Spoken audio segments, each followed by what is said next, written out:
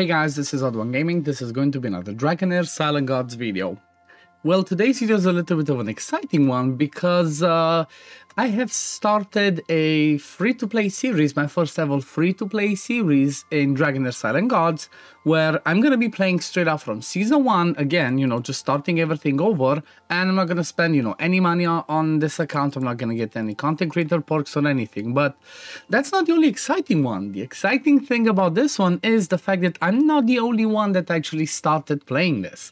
There's actually a bunch of us content creators. It was, you know, me and Ivy uh, were debating doing this because there's been some updates in season one, as all of you might have been aware. So, you know, there was some negativity around that, but we tried to switch it up and make it positive. So we said, let's try and get a, a free-to-play series started. So we're going to be back in the loop with what's happening for those of you that maybe are watching or starting playing Dragonheir for the first time. So we're talking about content creators, there's quite a few of us involved. So there's obviously me and Ivy Lee Gaming. Ivy Lee Gaming is my wife, for those of you that did not know. Then we have JRM the Killer, Wilson Box, Meteor Storm Gaming, Ragewood, Crenadon, HellHades is due to make an account. There's also Ash, Seth, and Scratch, which which have also recently started uh, free to play series like in the last week as well. So what we're planning to do is, you know, try and play as much as we can, the bunch of us together. Like at least the first ones should be on the same ser server, but also it's uh, Ash, Seth, and Scratch. We're gonna try and keep having uh, kind of like collabs. You know, we want to try and have collabs between us because I know first of all the community likes it. Second of all, it's really fun. You know, it gets it gets the community engaged, it gets the content creators knowing each other and getting us engaged. So hopefully it's gonna be fun. If you want to start playing the, this free to play series with us and you want to be on the same server as us, the server is called Winspur Forest 9. We started our account yesterday. Uh, it was day two, today's day three. So if you go, let me show you, if you go over here into the game and you go to settings and then you click switch character, it should give you this one. If you go to new server list, you see that this one has already gone to 10. So do not start on 10, but you can go and when you create a new account, it should allow you to select invite list, okay? And when you oh, you're gonna have the server invite code, you're basically gonna put this code over here, okay? If you put this code, you should be joining the same server as us, and then the alliance is called Free to Play Ish 2024 if you do join the alliance with us, and like I said, if you want to start playing with us, make sure you join Ivy's Discord because we have some channels in Ivy's Discord that are going to be related to this. I'm going to leave, uh, leave a link anyway to her uh, Discord in the description of this video. I'm going to put this code over there as well so you can join us. So you know what? Let's start Dragonheir free to play again and let's see how uh, this one's looking. Let's see how the these changes have affected season one. And I'm going to say it from the beginning. It's massive. It's huge. It's insane. It's it's so much better. This is something that we have been saying as content creators from the beginning that you know it feels like the game was a little bit too stingy but with this one honestly this is the you know this is the right way basically if you start playing the game and you see that you give yourself five 10 Helolites. Then you get a free legendary. Then you get some master scrolls. Then you're gonna get some more rewards as you unlock every single day. Do keep in mind, I think these ones are only for the first seven days. So if you miss these ones, uh, I'm not sure. Again, it's the first time I'm doing it, so I'm not 100% sure if after seven days they disappear or not. But obviously, you're gonna try and do this one as soon as possible. But getting Helolites, getting a free legendary, then a legendary artifact is massive. We still get once we get to the second part. You know, we're still gonna have the UTR event, then it's going to be the usual stuff, but also we do have this one over here. We still get the hero lights from defeating the bosses, and we still get War Model, we still get Erich as well. There's so many more rewards, so many more Helolites. They uh, it's I don't know, it's just it's just insane. I just love it. Like I'm uh, let me just show you a few of my summons. So for example, I started playing, and obviously uh, as soon as you start playing, you're gonna start pulling. And because of the way that they give us a ton of summons, I would suggest just easily just go on ahead and start summoning your Helolites on the AT banner. Because if I saw correctly, from those polls, uh, it's it's definitely gonna be, you know, you're definitely gonna be getting to that 80 in the first month. Because even just part of the story when you beat like those tower defenses. Every single tower defense has a Heliolite. It's it's mind blowing. This is the perfect time, honestly, to start playing Dragonheir Silent Gods. If you even if you don't want to start playing just you know the free to play, but if you do want to start playing, this is definitely the time because there's you know it's so much better. It's so much better, and I'm hoping that they're gonna try try to do, even though they made a statement saying they're going to try and implement the same things in the future for seasons two and three and whatever other ones are going to come after. But for this season, it's just amazing. It's just, you know, it's it blew my mind. It blew my mind how many hero lights you can get. Before, you would have to play maybe a month in order to get the legendary. And spoiler alert, I already got the legendary. Okay, I already got the legendary. You're gonna see in the summons. Like I, I did pull my uh hero lights in my starter. Like I said, I had like I have like four videos where I showed my pull. So for example, this one was four as an epic, but at least when it comes to the rares, it was really funny to me because the first two and the third one I had got three rally ones. And then when I got to the epic, uh, I got Hexandra as a healer, which we get from the story, but I got Alfie as a wild one. So Alfie is really good, especially because I showed you earlier, you get Erich as a free legendary. So he is a wild hero, and if you pair Alfie with him, he's just gonna be amazing. He's a really good enabler for wild uh, for wild characters. Now this is the second one where again, every time I had like some five pulls of of uh, Starlight or Hero Lights, I kept pulling them because when you are early game, you know, at the beginning, starting pushing your teams, it's really important to try and find your first core team. Like what's gonna be the first people, what are gonna be the first uh, team that you're gonna be focused on. Number one priority, as always, is going to be having a team for Goblin Slayer to be able to farm uh, XP potions because XP potions is gonna be something that you're gonna need a ton of, so you can keep building more and more characters. Okay, definitely keep that in mind. So from that point of view, that means what do you need for the Goblins Lair? Well, it's lots of, uh, it's five goblins that keep coming in waves. Well, that means that what you will need is AoE heroes. So that should be priority number one. In the first week, try and build some AoE heroes. I think this was an insane poll. It was five rares, but let me just check the rares. Yagnats, even though he's a rare, he can be really good Dauntless. But look at this. I got Sigrid, I got Quarian, I got Welby. All three amazing rares. Sigrid is arguably the best rare in the whole game. Like, honestly, she's borderline legendary. She's so amazing. She's 100% on the uh, two build list. If you haven't seen it, just check on my channel on this one. I have, you know, top 10 rares, top 10 epics. I have, I have all those lists. And you're going to see Sigrid and Quarian on every single one of those lists. So these ones are definitely game changing for me. And that was massive. And, uh, there's a couple of more. I did not get anything like uh, a game breaking, I'm not gonna lie, and I'm kind of happy. I'm happy I didn't get that because if I would have gotten you know the best epics in the game and the best legendaries in the game early on, maybe it would defeat the purpose of having a free to play account. Catherine, though, Catherine is really good one. Uh, she brings healing, she brings debuff immunity, which can help with the Grave of Venom. It can help with Vortex once you hit the 4 difficulty. Eli got another good poisoner. Loris a good tank. Altair, decent one. Gusni, uh, eh, so-so. Like Gusni and Altair, maybe I would not build, but Eli can be really good AoE hitter. Catherine, amazing healer.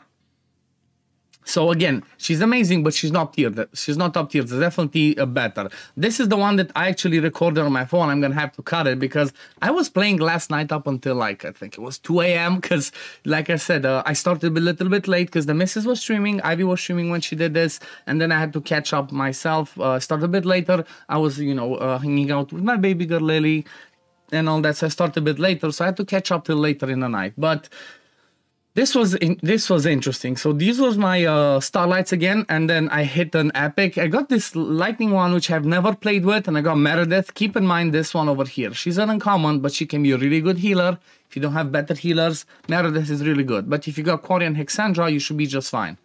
So definitely keep that in mind. When it comes to the lightning epic, I still have to have a look because I'm not sure he's really uh, you know, anything too impressive. I've not played with him though. I might be surprised. He does bring some accuracy penalty and attack penalty, but the hero light is really the main event. And guess what? I hit my legendary. I actually hit the legendary. This definitely changes. You know, when you when you start playing the game and you see that you can get the legendary day one, it definitely gets you more excited. And I actually got Vinyara she's not S tier, but she's a little bit the next uh, tier. Like, you know, I'm not trying to undervalue her. I'm just trying to say that she's not the best in the game. However, she's really good. She brings uh, attack penalty on the ultimate. She brings shield and increased defense on the battle skill. She has low cooldown. Nathaniel is an amazing support as well. So Bronwyn, another wild one. So, you know, I kind of see a little bit of a wild team shaping up. But I'm not going to be building the wild team because wild are single target. Okay, keep that in mind what did I say earlier? Priority number one, Goblin Slayer. You want an AoE team. Obviously, you're going through the story and whatnot, but you want to have a team that does AoE damage that's going to be good for Goblin, okay? I got lots of dupes in here, and then I got Estella. I'm not going to lie, I have a ton of healers. I have too many healers. I don't need that many healers uh, early on. So that, that those are my polls. And let's just have a quick look at them, see what I have to play with. So I kind of had this team built, but this was what I did Vortex at the end of the day with. However, your priority should be, like I said, Goblin's Lair. And again, number two thing that you 100% want to keep in mind, take advantage of the Clipsaija torrent, okay? What does this do? Well, for five days and two hours, you can constantly go and free reset these ones, and then you keep getting back the resources and you can build somebody else and reset and build somebody else. You can take advantage of that because what's what you will be doing is, like I said, you're going to be doing Goblin's Lair, which is going to be try to keep getting more and more XP potions. But then after that, you're going to be doing domains. And when you're doing domains, you have to keep in mind the higher you go, the less effective people of the same element would be. So for example, if you go to from stage 5 upward, fire and poison damage taken by enemies are reduced by 30%. Then once we get to this stage, to 8, it's by 60. And you know, it goes higher and gets lower and lower. So you kind of get the gist.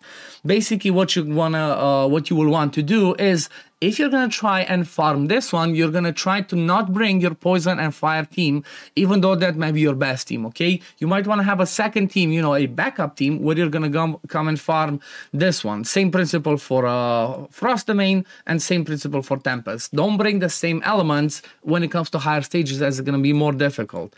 Now, when it comes to the Goblin Slayer, let me quickly show you what I believe I'm gonna try to build, but again, it depends. What else am I gonna pull? Because if I get if I get some more uh, hero lights. Okay, you know what? We have a few more starlight. Let's see. We can get legendaries from starlight as well. So how crazy would that be? But you're basically gonna build, like I said, you're gonna have a look at uh, what's gonna be your best AoE people. Okay, what's what are your best AoE hitters so you can easily farm the Goblin's Lair. Because if you don't have an easy Goblin team, then you're gonna struggle with everything else, and you will always want to try and farm the highest level possible. Because as you can see, if I'm stage six, if I'm stage one, I use the same amount of stamina. So that's really important to keep in mind.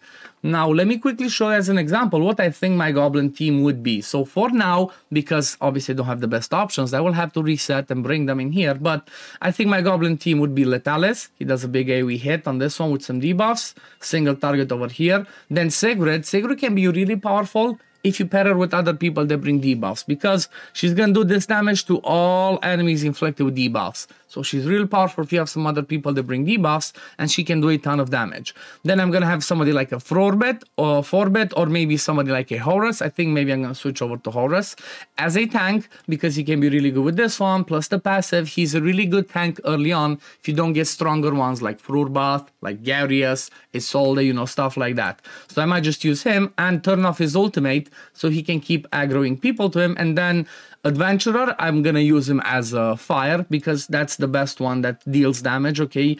Fire one, if you need some support, you go ice. If you need damage, you go with fire. And then I might have a healer, but this might change later on. If my tank will be strong enough to survive on its own, I'm just gonna have a tank with 4 DPS and, and I'm gonna go with it. I don't see anything else that I believe could be better, but again, I might still be testing. However, for now, this looks to be my best one for AoE damage. I could also go with Rally, but something that I learned today is, well, Rally people, at least the rares, there's no enabler. Unless they have somebody that also already gives them like a, a Rally early, then you don't you have a problem because nobody places rally and if nobody places rally they're not going to be as good but I think I'm going to leave it at this for today. Just wanted to have, you know, the introduction of this, saying I'm going to be really excited. I'm going to try and make updated videos. I'm going to try to make as many videos as I can on this one.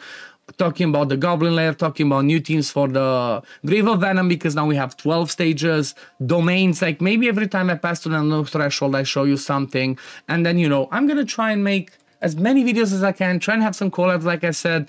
Again, this is the list of the amazing content creators that participate here.